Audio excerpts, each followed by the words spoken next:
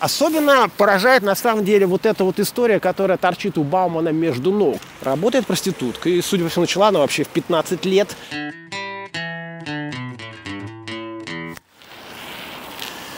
Добрый день, дорогие друзья! Мы находимся в городе Москве, и сегодня я вам э, расскажу на примере двух совершенно отдельных явлений истории, как можно натянуть сову на глобус.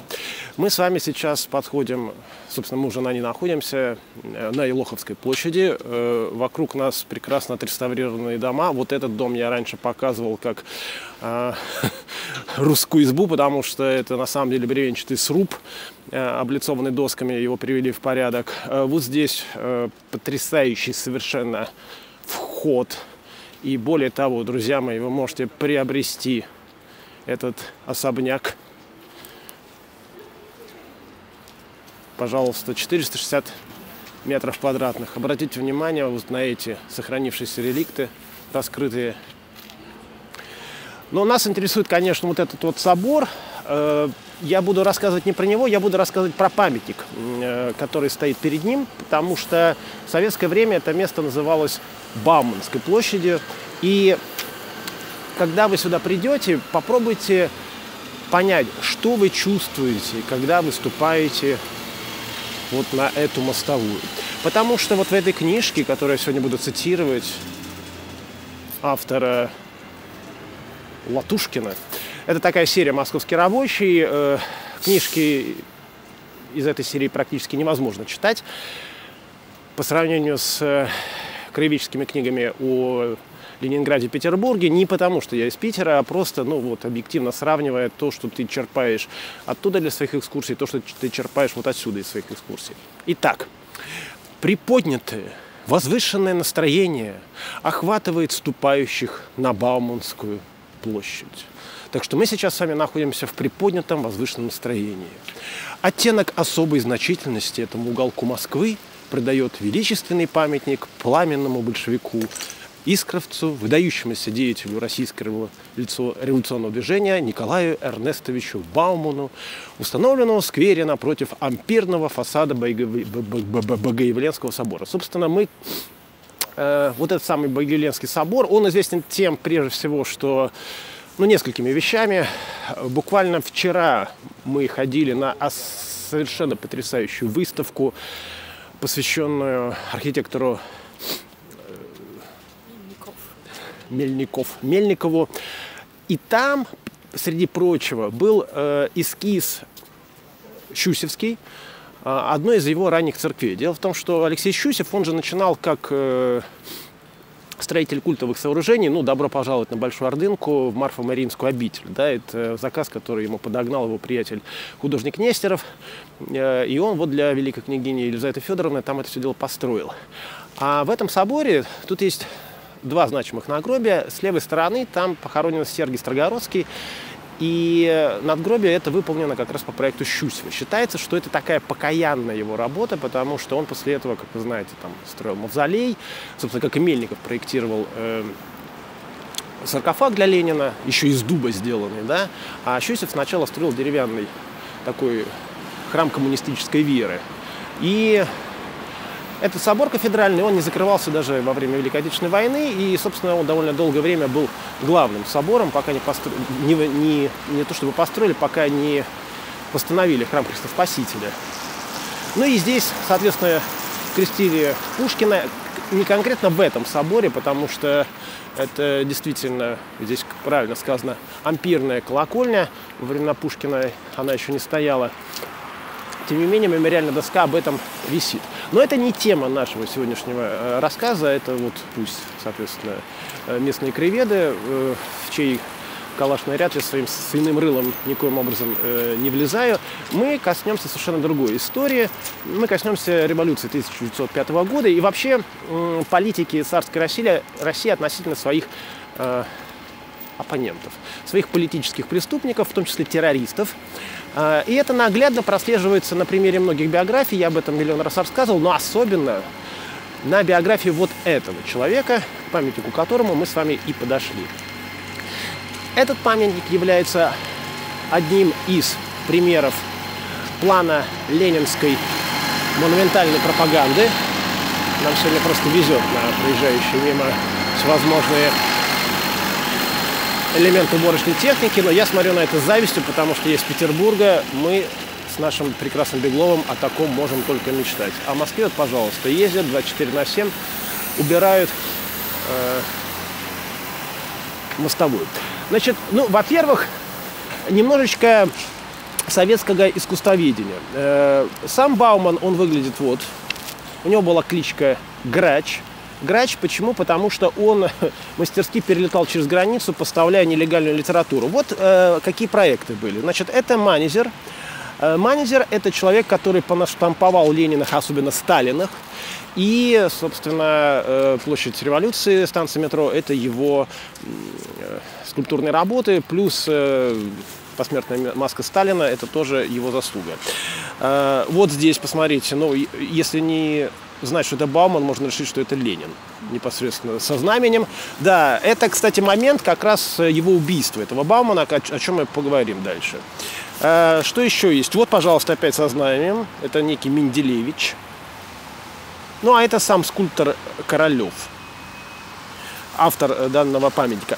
Он э, в 18 году еще поставил вот такую прекрасную. Это не кучка того, чего вы могли подумать. Это памятник Э, Бакунину, который стоял на Чистопрудном бульваре, он не простоял и года. Ну, тогда очень много таких памятников поставили, их делали из говна и палок, там, из гипса, из разных других неживучих материалов, и они очень быстро разваливались. Но э, дедушка Ленин шарил в пиаре, тогда не было такого понятия, тогда было понятие пропаганда, и э, он прекрасно понимал, что надо вот сейчас одномоментно понаставить массу всевозможных знаков нового времени. Итак, Статуя Баумана с первого же взгляда обращает внимание именно своей монолитностью и композиционной нерасчлененностью. Мотаете на ус, будете потом, соответственно, блистать искусствоведческими знаниями. В этой замкнутой в семье и глыбистой бронзовой скульптуре отсутствуют какие-либо просветы и отстоящие от основного объема части. Плотно прижатые к бронзовому блоку руки, длинное просторное пальто усиливает массивность и целостность фигуры – Изваяние построено крупными, обобщенными объемами и массами. Ну и так далее. Э, особенно поражает на самом деле вот эта вот история, которая торчит у Баумана между ног. Ну, в правой руке он сжимает искру, понятное дело, потому что он один из главных искровцев. Вот если мы посмотрим на этот памятник вот с этого ракурса, то такое впечатление, что, э, ну, хотелось бы, конечно, думать, как и в случае, соответственно, с памятником Марксу на театральной площади, на бывшей площади Свердлова, который, так знаете, вырастает из глыбы гранита, и Фаина Раневская назвала его холодильником, этот памятник, то здесь такое ощущение, что у, у Бамана что-то из, э, не буду говорить откуда, вытекает. Но тому есть еще одно объяснение – если монолитность дает ощущение мужественной силы и незыблемости, то взволнованная, порывистая трактовка поверхности драматизирует образ, рождая впечатление неизбывной энергии персонажа, его революционного энтузиазма, горячего дыхания революции. Динамичная импульсивная фактура воспринимается как рвущаяся изнутри кипевшая энергия чувств и мыслей героя. Кажется, что сама бронзовая масса согрелась этой кипучей страстностью революционера. Э, видите, как много на самом деле несет в себе этот памятник, о чем, как правило, мои экскурсанты, которых я сюда привожу и говорю, ну, опишите мне, пожалуйста, этот памятник, они даже и э, не догадываются. Памятник Бауману как бы осеняет нас величием и непреклонной силой своего духа. Это впечатление рождается именно благодаря мощи целостности непроницаемого блока статуи. Э, ну и по поводу вот этого э, объема, который вытекает у него э, непонятно откуда, непонятно зачем. Королев изобретательно и находчиво закрыл промежуток между пальто и пьедесталом пластической массой, которая по объемной фактурной трактовке напоминает глыбистый нарост. Это глыбистый нарост, друзья мои. Теперь давайте э, посмотрим э, на непосредственно биографию Баумана и поймем, почему царская власть дала дуба. Потому что на самом деле вот этот так называемый кровавый царский режим, он со своими э, революционерами обращался, ну, более чем вегетариански. Возьмем биографию э, пламенного борца. Э, на пьедестале размещены отрывки из некролога Владимира Ленина, который Королев взял для себя. Э, здесь есть несколько барельефов. Э, обратимся для начала к барельефу вот с этой стороны. Ну, на самом деле, начать нужно, конечно, не с этого, а вот с другого. К этому мы сейчас вернемся.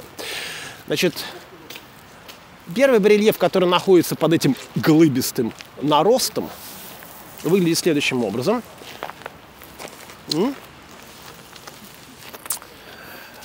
Сижу за решеткой в темнице э, сырой. Значит, это самый первый арест Баумана. И он здесь э, показан в Петропавловской крепости. Я обычно задаю вопрос своим экскурсантам, что не так с этой картинкой. Э, мало кто догадывается, но, собственно, э, я бы тоже не догадался, если бы я никогда в Петропавловской крепости не был, если бы я этот вопрос не изучал. Дело в том, что в Петропавловке на тот момент не могли быть вот такие рустованные стены, потому что один из главных, соответственно, методов коммуникации в тюрьмах было перестукивание. Эту азбуку изобрели еще декабристы, и потом она поддерживалась вот до последних времен. И для того, чтобы это не происходило, э, в одной из камер как раз э, в Трубецкого бастиона показана э, модель такого сэндвича. Стены оклеивали войлоком, покрывали слоем обоев, потом еще один слой войлока, еще, еще один слой обоев. Соответственно, они не могли перестукиваться. Это художественный вымысел. Но это сделано для большей такой ну не знаю, выразительности. Ну, вспомните картину Флавицкого про княжну Тараканову, где нету ни слова вообще правды в этой картине. Э, тем не менее, люди смотрят на нее и верят, что так оно и было. Значит, он присел первый раз, отсидел там 22 месяца, после чего его выпустили на свободу. Что делает Бауман? Он едет в Европу, там знакомится с Лениным, становится одним из главных поставщиков нелегальной литературы, мотается туда-сюда, его опять арестовывают. Его арестовывают и сажают в Лукьяновскую тюрьму э, в городе Киеве вместе с еще 11 коллегами по революционному цеху. Значит, в этой Лукьяновской тюрьме, э, помимо него, кстати, там сидел еще... Э, что, хочешь туда? Ну, давай, давай, давай, попробуем, попробуем. Сколько, сколько, сколько, сколько, сколько? Я майду, давайте, я покажу, я покажу прекрасный барельеф. Товарищ Бауман был арестован по делу организации «Искры» и бежал из киевской э, тюрьмы. Вот они, видите, спускаются с, соответственно, стены. Значит, э, как дело было? В этой тюрьме нравы были, ну, реально, как у меня в пионерском лагере. Ну, во-первых, значит, э, Баумана там прозвали балериной. Э, его коллеги по революционному цеху, потому что он был вот такой весь изящный, гибкий, подвижный. Он постоянно играл там в чехарду на дворе. Они развлекались тем, что они строили слона. Что такое слон? Это трое встают на первый ряд, так вот ставят руки себе на плечи, на них забираются еще двое, сверху еще один. И вот так вот они тренировались. И постепенно их тренировки все ближе и ближе подходили к стене тюремной. Дальше. Жена Баумана дарит своему мужу огромный букет цветов.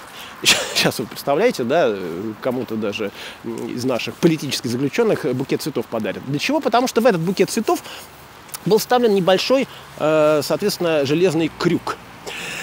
Э, дальше они в тюрьму проносят вино.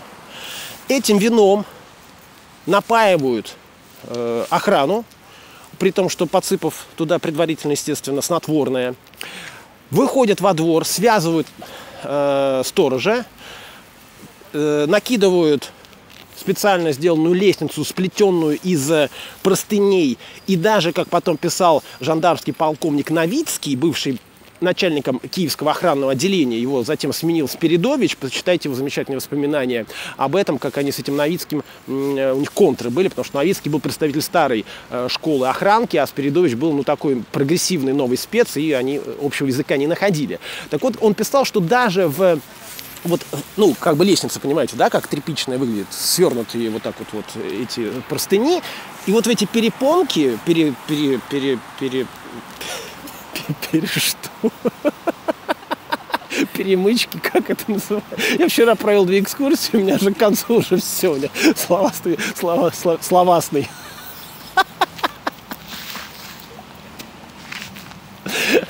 Словарный запас иссяк. Ну как это называется? Перемычки перекладины, ну пусть будет, да, перекладины, короче, ступеньки этой лестницы, там внутри еще была, были встроены спинки от тонетовских стульев, представляете? То есть, э, я не знаю, были ли в тюрьме, вообще стулья тонета, вот у меня э, два дома есть, такие раритетные, я их купил реально две штуки за 7 тысяч рублей. Э, да, ну, два, два стула, два стула есть, нет, дома у меня один. Э, и э, Корбузье считал это просто, ну, пиком вообще 19 века с точки зрения дизайна, функционализма и всего остальное. Вот они эти перекладины, изогнутые, вставили в эту лестницу, наверху было окошко, и, в общем, они, у них у каждого был поддельный паспорт, уже их принесли э, в тюрьму, у каждого, соответственно, была четкая в голове инструкция, куда он бежит после того, как они перебросились через стену. И вот они благополучно так вот сбежали. Сбежали. Дальше. Начинается следующая история. Пойдемте к тому барельефу. Бауман опять занимается тем, что приезжает в Москву, возглавляет здесь местный комитет, начинает, соответственно, продолжать, э, начинает продолжать. Что-то я сегодня максимально косноязычен, извините. Ну, так может быть интереснее. Есть чем кинуть в меня э, кидайте, я с удовольствием приму ваши... Э, ну что, вы рискнешь забраться сюда? Давай. Эх! Да. Это момент его убийства изображен. Значит, э, продолжает свою э, подпольную деятельность. Его опять ловят. В 1904 году сажают в этот раз э, в Таганский Централ, в Таганскую тюрьму, которую тут называли в Москве местной Бастилией. Начинаются демонстрации протеста Э, чтобы его выпустили. Его выпускают.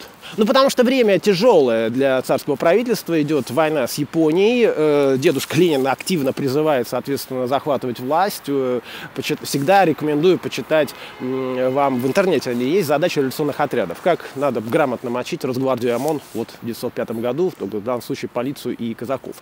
И уже, уже назревает манифест 17 октября 1905 года, который Сергей Юрьевич Вит у себя там на машинке на Каменостровском дом 5 настрочил, и потом на пароходике в Петергоф Николаю II привез, и со второго раза он его подписал. Но еще пока манифест не, манифест не подписан. Баумана выпускают из тюрьмы, обратите внимание, опаснейшего революционера, который уже дважды, дважды сидел, его выпускают третий раз.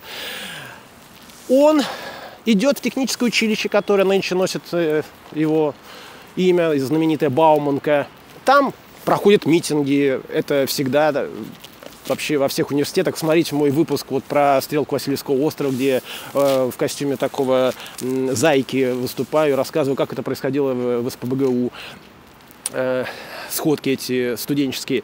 И они решают идти освобождать оставшихся э, заключенных в эту таганскую тюрьму. Бауман как, соответственно, описывается вот в этой книжке, что произошло? Вот это официальная э, версия КПСС.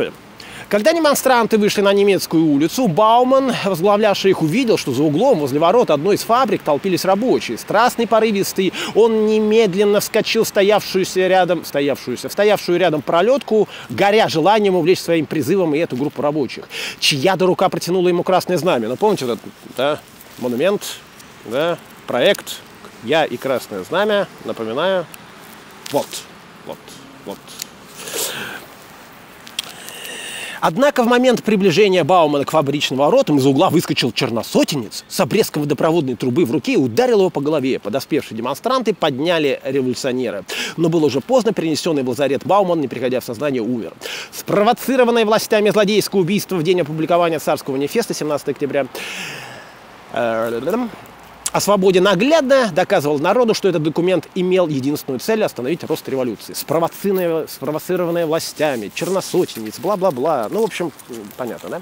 Значит, теперь рассказываю, как было дело... Ой! По-настоящему. А, да, действительно, был этот митинг. Э, да, действительно, Бауман э, скачал пролетку э, с этим красным знаменем и понесся по улице. В этот момент там за углом, ну, такой немножечко принявший, сидит Михаил, э, господи, Михалин, да, его была фамилия, что-то, а вот этот момент, несмотря на то, что ну, ты рассказываешь об этом 28 тысяч раз, иногда у тебя кое-какие фамилии, э, Николай Михалин, да, его звали, он ну, по разным версиям он работал на фабрике Щапова, неважно кем, то там смотрителем бань, то сторожем, то еще кем-то, не столь важно. Главное, что он там работал. А до этого он пять лет а, отслужил в Легваре конном полку, а, куда брали таких высоких брюнетов с усиками. У него был рост э, метр восемьдесят.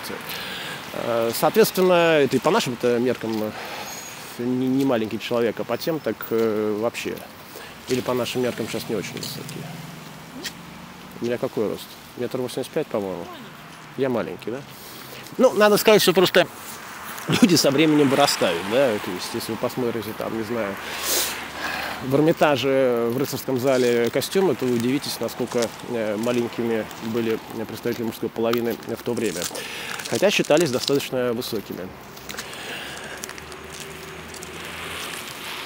Пять лет он там отслужил, и, ну, естественно, их учили, у него, у него был поставленный рубящий вот этот удар, там, палашом или саблей. Интересно, что когда я делал об этом пост, э, разгорелись э, дебаты на тему того, что в гвардейских полках, э, в полках привилегированных не могли в нижних чинах служить там простые крестьяне, мещане и так, и так далее. Ну, это как бы, извините, я даже отказываюсь э, комментировать, хотя там, естественно, нашлись э, эксперты. Хотя бы даже потому, что когда, э, ну, забегая вперед, НКВД после революции выискивала всех бывших приверженцев, семеновцев, коногвардейцев, там в 30 каком-то году вообще была проведена операция «Весна» по их выявлению. Особо тяжкими преступлениями было хранение реликвий, связанных с полком, георгиевских крестов, э, знамен, икон, вот это все, да э, то, естественно, в их личных делах отмечалось происхождение. Так вот, там всегда обозначался э, дореволюционный статус э, человека, и понятно, что э, основная масса нижних чинов набиралась отнюдь не из дворян. Начиная там с истории декабристского восстания, вы можете в этом убедиться, и заканчивая, соответственно, 1917 годом, когда, к сожалению, к сожалению, Преображенский, Павловский полки – к сожалению, для царского правительства, э, перешли на сторону революции именно э, нижние чины. А офицерье, вот это самое, белопогонники, оно нет. И вуаля. В общем, у него был ставлен, поставленный удар. Он сидит такой под мухой, видит, что по улице несется человек с призывом «Долой царя» э, и прочее. Ну, это, конечно, я передергиваю, Э, да, кстати, вот я тебе говорил вчера, вот Новорязанская улица, вот там вдалеке, но на GoPro будет не видно, там как раз э, один из немногих объектов Мельникова сохранился э, гараж. Он, правда, немножко переделанный, но тем не менее. Вообще, сходите, конечно, на эту выставку э, на Воздвиженке э, в музее Щусева. Это совершенно потрясающая история. Очередной раз мы убеждаемся в том, как э, вот наш русский авангард – который действительно трактуется на Западе, в 30-х годах пришелся не ко двору. И там есть потрясающий момент. Щусев сначала же запал на Мельникова, а потом стал его активным противником. Там есть цитата, приведенная, э, такая уничижительная. Могу даже ее сейчас найти, я сфотографировал и прочитать. Щусева. Э, Щусева. Его эксперименты носят явно формалистический характер. Подобная вычурность совершенно не соответствует задачам, социалистического строительства на фоне той правды и искренности, какой должна отличаться советская архитектура. Опыты Мельникова в гражданском строительстве выглядят как неприкрытое трюкачество, как совершенно очевидная безвкусица. Так вот, прикол в том, что теперь выставка Мельникова проходит в музее имени Щусева. И вы когда-то заходите, первое, что увидите, это бюст Щусева. Вот. Представьте себе вот э, сейчас, ну, какой-нибудь там, не знаю, ОМОНовец, разгвардеец э, и так далее. Вы к нему приходите и говорите, давай, пошли спасать Навального. Я, конечно, очень сильно передергиваю, но это единственная параллель, которую я могу провести с современностью. То есть вы сидите, мимо несется какая-нибудь там машина, из которой орут, пошли, значит, выручать нашего сидельца. А вы такой, знаете, вот, э, отслужили, да, и сейчас э, весь из себя э, патриот. Естественно, вы возьмете первое попавшееся и пойдете выяснять отношения. Э, разные есть версии происходившего по разным, соответственно, свидетельским показаниям. Значит, по одному из них э, Михалин попытался этого Баумана с пролетки стащить. Тот в него стреляет. Ну, естественно, Михалин ему вдал этой, этим обрезком трубы. Ну, удар у него поставлены, поэтому Бауману досталось прилично. Потом Михалина Э, коллеги Баумана по традиционному цеху начали палить. Э, он скрылся. Михалин протрезвел, сам пришел в полицию, признался. Над ним был суд, который присудил его к полутора годам тюрьмы. В 1925 году НКВД разыскала Михалина, который скрывался в одной из э, деревень, потому что прекрасно понимал, что ему будет, ибо ну, погоня за как я уже сказал, бывшими служаками разворачивалась, ну и, собственно, был расстрелян. Вот это как бы, вот как оно все было. То есть никакого заговора правительства по убийству Баумана не существовало. Э, Михалин, ну да, он был, наверное, черносотенцем по своему духу, но он не состоял ни в какой черносотенной партии. Он не был там членом э, Союза Михаила Архангела или Союза русского народа. Он просто был вот такой обыватель в данном случае мещанин, который э, отреагировал на вот эту ситуацию. Но сова на глобус натягивается очень просто, и с тех пор Бауман, ну, он вообще стал одним из первых таких святых э, в коммунистическом пантеоне, и не мудрено, что Владимир Ленин э, лично был инициатором создания ему памятника. А теперь мы сменим тему, потому что мы с вами вышли на площадь Разгуляя, вот здесь вот э, ремонтируется здание бывшей московской гимназии. Не буду рассказывать байки про все эти окна, похороны и так далее. Кстати, если мы... Ну, давайте я здесь вам подставлю вот фотографию, как она раньше выглядела, она была ниже. И еще подставлю одну фотографию вот в ту сторону, как выглядела, соответственно, э, новая Басманная улица. Там виднеется э, Каланча, полицейской части, в которой э, одно время сидел даже Владимир Маяковский. Но нас интересует вот то здание, к которому мы сейчас будем приближаться. Это музей Пушкина. Но музей не Александра Сергеевича Пушкина, а музей Василия Львовича Пушкина, его дяди. Именно этот дядя похлопотал Э, чтобы Пушкина приняли в один из самых привилегированных, новоявленных учебных, э, одно из самых привилегированных новоявленных учебных заведений Царскосельский лицей. Он его повез в Петербург, где они остановились в Демутовом трактире на Амойке. Тоже, кстати, здание было трехэтажным, сейчас надстроенное. И в дорогу э, папа с мамой дали своему Сашеньке, который, кстати, не жировали абсолютно, 100 рублей. Это была очень большая сумма, но дядя сказал, э, Саша, зачем тебе деньги? Давай я возьму их себе, у меня будет э, надежней их сохранить. Ну и, собственно, сохранил. И Пушкин, бывая в Москве, он часто шутил, говоря своим приятелям, если мы захотим пообедать, то мы можем поехать к моему дяде, он должен мне 100 рублей. Так вот, Василий Львович, он э, прославился тем, что э, написал поэму. Ну, то есть он писал стихи, но прославился он именно конкретно одной поэмой, напечатанной только в конце 19 века, а до этого она расходилась в списках. Поэма называется «Опасный сосед». Вот сколько я не вожусь экскурсии, и всегда спрашиваю, читал ли кто-нибудь эту поэму, не читал никто. Более того, если вы придете в этот музей, а я настоятельно рекомендую вам туда сходить, то вы увидите там один из залов э, с э, гравюрами, ну, это не оригиналами, конечно, да, копиями Хогарта, значит, «Жизнь проститутки». Э, это известная э, история. В принципе, если хотите, я сейчас за кадром вам э, скажу. Главную героиню зовут Мол или Мэри Хэкебаут, и она названа в честь героини романа Даниэля Дефо, Мол Флендерс. И еще одной проститутки, ее прототипа Кейт Хэкебаут, которая была сестрой разбойника Фрэнсиса Хэкебаут, повешенного в начале 18 века. На первой гравюре Мол прибывает в Лондон, и художник как бы делит картину на две части, потому что в одной стороне доброе, а в другой стороне злое. Это очень характерно для аллегоричной эпохи того времени. С правой стороны видна разрушающаяся штукатурка гостиницы, из которой выходит печально известный гуляка полковник Фрэнсис Чартерис и его сутенер Джон Гурлей, конкурирующий со сводницей и содержательницей борделя Элизабет Нидем, матушка Нидем, в покровительстве над мол-проституткой. Чартерис, довольной их мылкой, предвкушает удовольствие, которое ему даст молодая проститутка. В левой части гравюры, где стены здания крепки, лондонцы игнорируют разыгравшуюся сцену совращения провинциалки. Беспечному священнику безразлично положение девушки, как и его лошадь, свалившая груду кастрюль.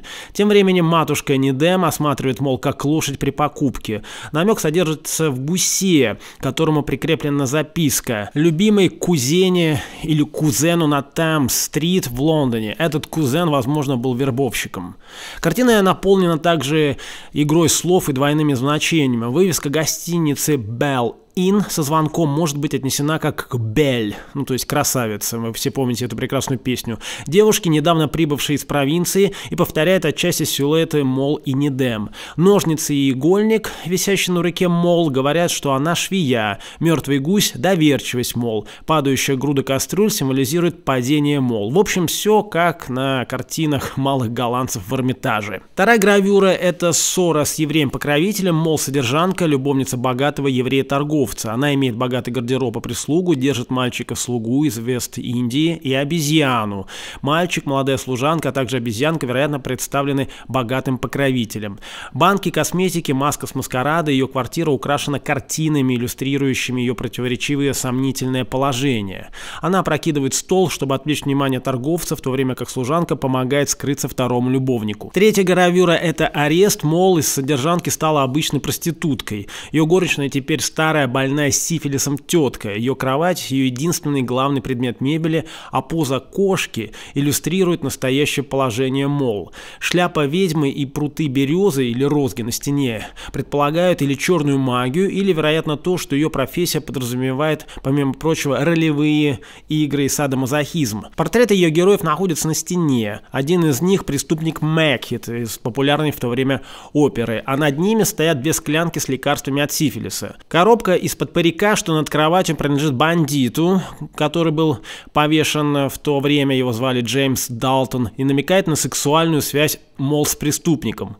Судья сэр Джон Гонсон с тремя вооруженными помощниками шерифа входит, чтобы арестовать Мол за ее действия. Мол хвастается новыми часами, возможно, подарок от Далтона, возможно, украденными у клиента, выставляет свою левую грудь.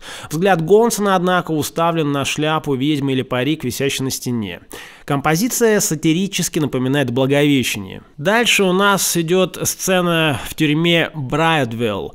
Мол отбивает пеньку для петель палача, в то время как тюремщик угрожает ей и заставляет работать. Служанка улыбается тому, что женщина-тюремщик отбирает у Мол платье, да и служанка, кажется, носит ботинки Мол. Заключенные идут слева направо в порядке уменьшения благосостояния. Человек, который привел с собой собаку Шулер, дополнительная карта которого выпала. Женщина, ребенок, возможно, страдающий синдромом Дауна, а беременная африканская женщина, которая, возможно, забеременела, когда уже была подвержена судебному преследованию, поскольку беременные женщины не могли быть казнены или сосланы. Слева на позорном столбе надпись «Лучше работать, чем так стоять». Человек, страдающий на столбе, очевидно, отказался работать. Дальше Мол умирает от сифилиса, доктор Ричард Рок, слева и доктор Джин Мизабин справа спорят о своих медицинских методах. Женщина, возможно, сводница Мол и, возможно, домовладелец осматривает имущество Мол, чтобы выбрать себе пригодное в то время как горничная, мол, пытается остановить грабеж. Сын, мол, сидит у огня, возможно, зараженный болезнью матери. Он выбирает в шее своих волос. Баночки с более утоляющими средствами лежат разбитые на полу. Одежда притягивает, мол, к полу, как если бы привидения тащили ее в загробную жизнь. Наконец, похороны в заключительной сцене, мол, мертва. Запись на крышке гроба свидетельствует, что она умерла в возрасте 23 лет 2 сентября 1731 года. Пастор проливает свой свой бренди, поскольку он держит руку под юбкой девушки рядом с ним.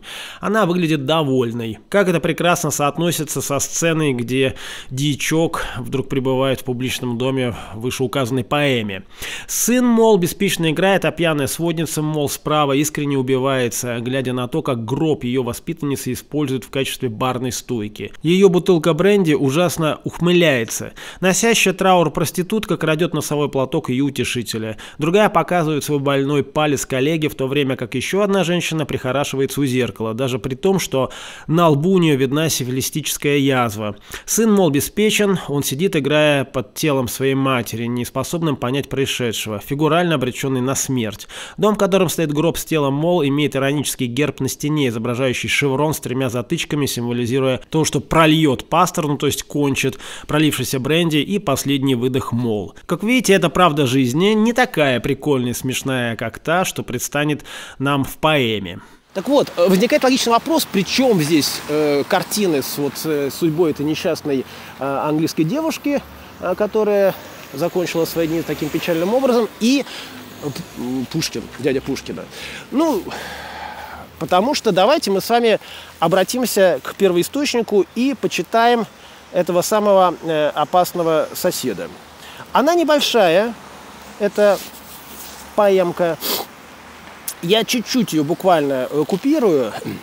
Ох, дайте отдохнуть и с силами собраться, чтобы что прибыли, друзья, перед вами запираться? Я все перескажу. Буянов, мой сосед, имение свое проживший 8 лет, с цыганками, с бледьми в трактирах с плюсунами, пришел ко мне вчера с небритыми усами. То есть, обратите внимание, что это Буянов. Кстати, многие э, решили, что прототипом его является э, Федор Толстой, американец прототип многих, кстати, литературных произведений э, той эпохи. Э, за 8 лет у него, значит, имение с крепостными крестьянами, ему приходит э, доход, а он его пропил за 8 лет с, вот с этими прекрасными девушками. Растрепанный в пуху в картузе с козырьком пришел и понесло повсюду кабаком. Ну, то есть вонь от него стояла в Баттинате. Сосед он мне сказал, что делаешь ты дома? Я славных рысаков подтибрил у Пахома, на масле на тебя я лихо прокачу, потом с улыбкой ударив по плечу, мой друг, прибавил он, послушай, есть находка, не девка, золото, из всей Москвы красотка, 16 только лет бровь черная дугой, и в ремесла пошла лишь нынешней зимой. То есть 16-летняя девушка работает проституткой. И, судя по всему, начала она вообще в 15 лет, раз она лишь, нынеш, лишь нынешней зимой пошла в ремесло, то есть вот она новоявленная, такой свежий плод. И э, Буянов предлагает э, соседу, под которым ну, легко угадывается в смысле, сам автор, э, отправиться. Ступай со мной, качнем. Обратите внимание на сленг той эпохи. Да? Вот сейчас качнем, это значит там какая-то музыка, да? А тогда качнем, вот поедем э, к девушкам подобным.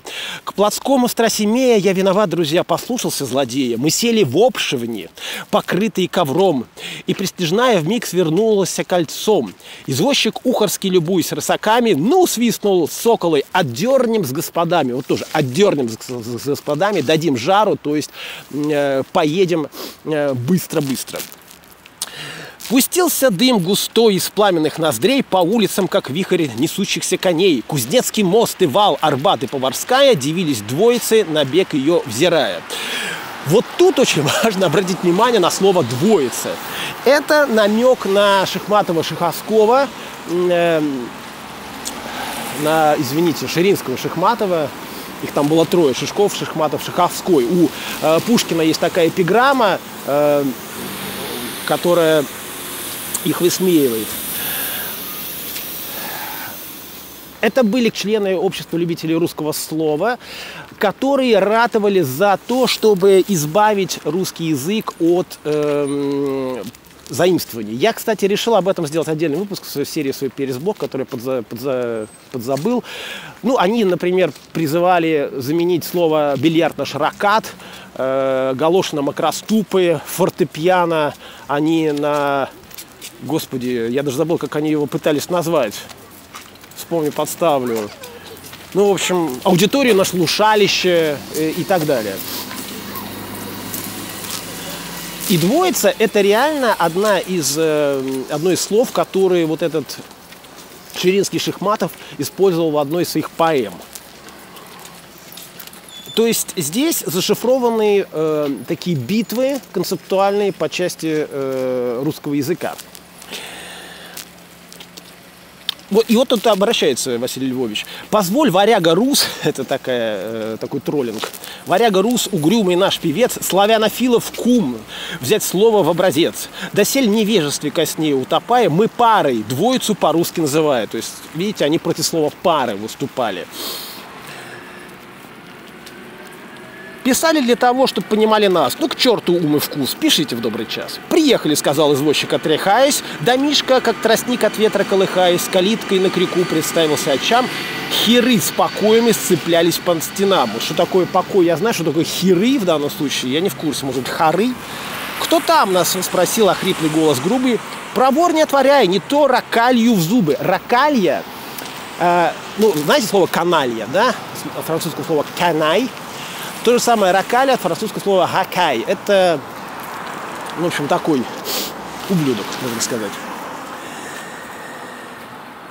Буянов закричал, готовы кулаки. И толк ногою в дверь слетели все крюки. Мы, сгорбившись, вошли в какую-то коморку. И что ж, с купцом играл дьячок Приходский в горку. Горка – это игра в карты. Обратите внимание на состав э, в борделе, да, дичок и купец. И вот Буянов приехал.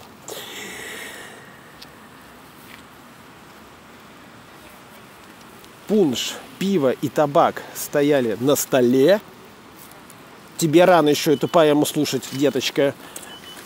С широкой задницей с угрями на челе, вся провонявшая чесноком и водкой, сидела сегодня тут с известной красоткой. Сегодня имеется в виду мадам, которая держит непосредственно этот бордель.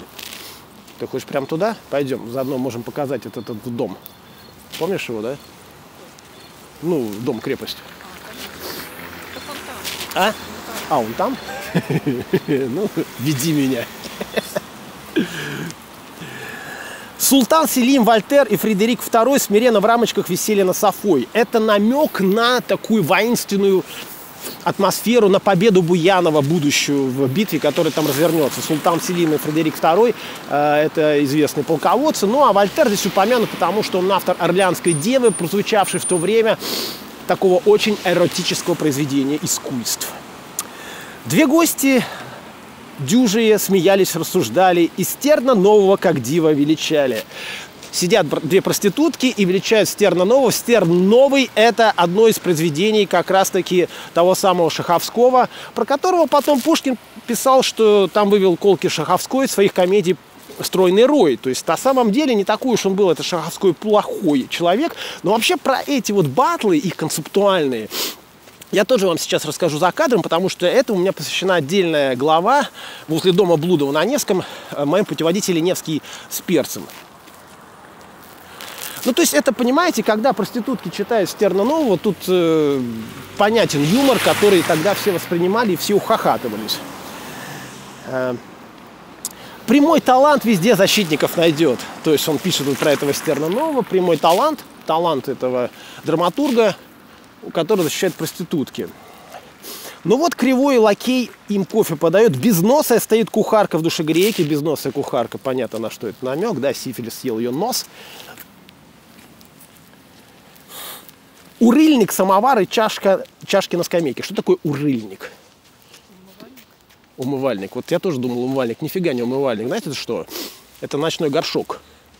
Которые... Вчера я буквально смотрел э, «Кюляфет Команс», э, «Пусть праздник начнется», начнется, замечательный фильм французский, э, и там показан, ну, там Филипп Орлеанский и малолетний Людовик XV, и там, значит, ходят такие специальные люди с ведрами, то есть он идет, ну, они ходят по, по дворцу, и его подзывают, иди сюда, и там прямо такой подошел, отлил, все, поговорил там с приятелем, и тот пошел дальше.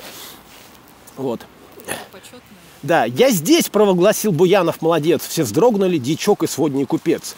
Но все, пристав, поклон нам отдавали, отдали учтивый. Не с места, продолжал сосед велеречивый, не с места все равны в борделе у бледей. Это намек, такая, знаете, реминесценция э, легалите, фратерните, что там там свобода, свобода, равенство и братство. То есть э, намек на французскую революцию. Вот это вот домина просто совершенно потрясающий. Здесь, ребятки, во-первых, вот этот, ну, вход главный здесь, но обратите внимание, вот этот вход в подвал, как трактован. Это еще дореволюционная постройка. Здесь есть наши любимые закутки счастья в Москве. Я их везде найду. Вот они. Посмотрите. Окна, смотрящие в стену. Москоу Коллинг, как пела группа Пар Горького. Так, Все вздрогнули, дичок и сводня, и купец, но, все, но все пристав поклон нам учтивый. Не с места, продолжал сосед велеречивый, не с места все равны в борделе у бледей, не обижать пришли мы честных здесь людей. Панкратевна, садись, целуй меня, Ваню, Ваню, Варюшка, дай пуншу, пей дичок, и началась пирушка. То есть он берет этих бледей, да, всем пуншу, и началась пирушка. Вдруг шепчет на ухо мне гостя на беду, послушай, я тебя, светлицу, поведу, ты мой, ты мной жизненочек, останешься доволен. Варюшка молодая, да, но с ней ты будешь более. То есть э, Варюшка молода, но уже немножечко это подцепилая, да? А я еще чистая. Она охотница подарочки дарить. Что за подарочки, понятно, да? От этих подарочек, подарочков потом нос исчезает. Я на нее взглянул, черт дернул, так и быть, пошли по лестнице высокой, крючковатой, кухарка вслед кричит, боярин тороговатый, дай бедный за труды всю правду доложу, из чести лишь одной я с доме здесь служу. Сундук засаленный периной, покрытый, агарок в черепке, рогожию полобитый, рубашки на шестах, два медные таза, Кот серый, курица, мне бросились глаза. Кот серый, курица, это вообще намек на какие-то святки, на вот это, помните, черная курица, да? Знакомая Знакомка новая, обняв меня рукою, дружок сказала мне, повеселись со мною, ты добрый человек, мне твой приятен вид, и верно девушке не сделаешь обид. Не бойся ничего, живу я на отчете, и скажет вся Москва, что я лиха в работе. Вот так вот, вся Москва говорила, что она лиха в работе. Проклятая, стыжусь, как падок слаб, ваш друг. Свет в черепке погас, и близок был сундук. То есть на сундуке они, соответственно, этим всем делом занялись. Посмотрите на вот эту вот совершенно потрясающая, такая почти крепостная архитектура. Дом Жон. Дом-крепость.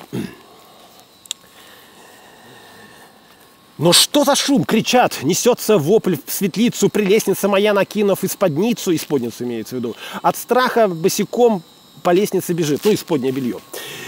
Я вслед за ней, весь дом колеблется, дрожит. Ужас! Мой сосед, могучей рукою к стене прижав дичка, тузит купца другое. То есть он там их дубасит.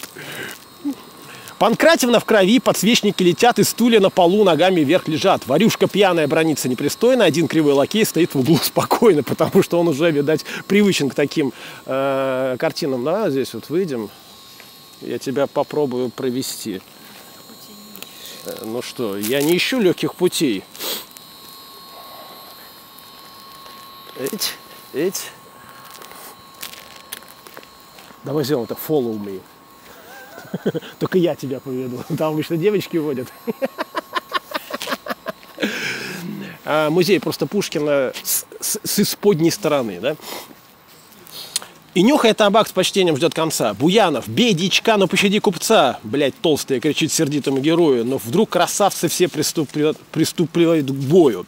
Лежали на окне Бавай и Руслан, несчастный Никанор, чувствительный Роман, смерть Ролла Арфаскат, Русалка, Два Дева Солнца. Здесь опять-таки дело в том, что Баба и Руслан это такие лубочные здания, да, популярные. А вот Русалка это как раз одно из произведений товарища э, Шаховского. Они их с мужеством пускают в ротоборца, то есть кидаются книгами. На доблесть храбрых жен с трепетом взирал. Все пали сосед победу одержал. Ужасной битве сей вот было, что виною. Дичок, купец, сосед, пун шпили за игру и умение в свет в свете жить, желая показать. Варюшка всем гостям старалась подливать. Благопристойности ничто не нарушая. Но Бахус бедствием не раз бывал начало. Рекомендую запомнить эту фразу. Бахус бедствием не раз бывал как там, Бахус бедствием не раз бывал начало. Ну, то есть, понимаете, по синьке все, что в конце нормальной свадьбы происходит? Конечно же, драка, да, у нас на Руси, на Руси святой. Забав невинный враг, любитель козней злых, не дремлет сатана при случаях таких. Купец почувствовал к варюшке вожделение, а, блядь, в том спору нет, есть общее имение.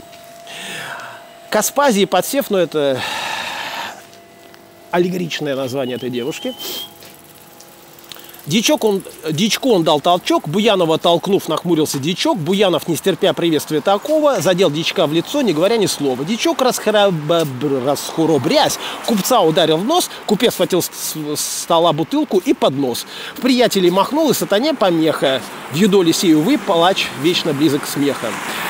На быстрых крыльях веселье летит, и горе тут как тут, гнилая дверь скрипит. И отворяется спокойствие рачитель. То есть они дерутся, и тут появляется спокойствие рачитель. Кто? Брюхастый офицер полиции служитель. Вступает с важностью в мундире суртуке. Потише, говорит, вы здесь не в кабаке. Престольные господа, у барышень вам драться. У барышень. Вот так называют. Вот видите, Александр Сергеевич Пушкин бывал в этом доме своего дяди поэта Василия Львовича Пушкина. Немедленно со мной извольте распитаться. Тарелку и сосед ответствовал ему, я близ дверей стоял, по счастью, моему. Мой слабый дух боясь лютейшего сражения, единственное, в ногах искал себе спасение. В светлице побывал, позабыв часы и кошелек, через бревна, кирпичи, через полный спрада. То, короче, дальше он описывает, как он через эти буераки, вот, э, обратите внимание, через полный смрадоток. Что такое полный смрадоток? Это вот канава, по которой текут всевозможные испражнения. А что, не что, открыть что ли? А, нет, выходной. Ну, давай зайдем, покажем, да, сюда.